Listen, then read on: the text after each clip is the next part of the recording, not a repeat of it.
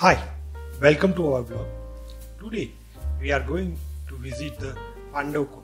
Pandavkund is a waterfall which was situated over the Kolak River. Kolak River is a small river which was started in a Valsad district and end into the uh, seashore of the Valsad. The Pandavkund is was situated into the Rohiyal Talat.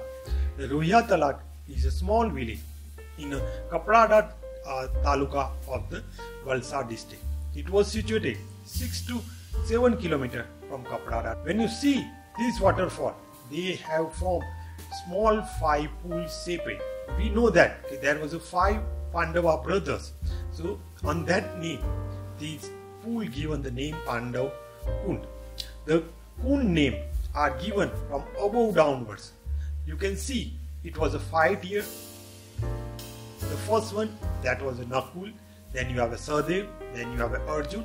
The larger one it is a Bhim, and last one that you can see that was a Yudhishthir. So this one is a totally five tiers and the five brothers. So name is given Pandav Kun. At now you can see there was a five tier of the waterfall, but during the summer time when the water level is low, you can have a clear cut view of five pool and you can say these are the five kund given name according to the Pandavas.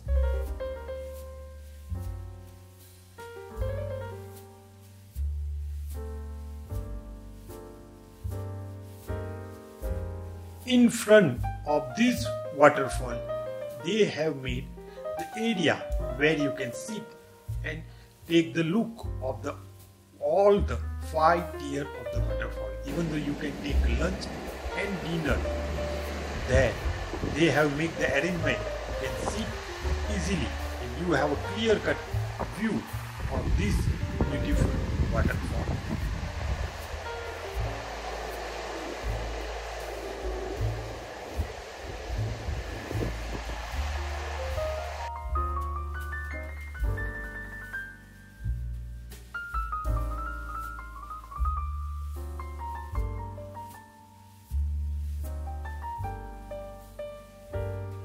Even you can go upper part of this waterfall where water is shallow and you can take a bath here.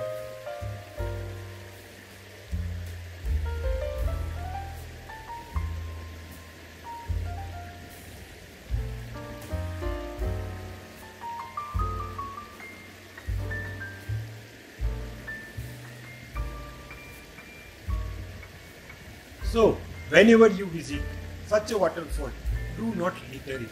Whatever things you are taking with you, please bring it back and make this beautiful place more beautiful. Thanks for watching.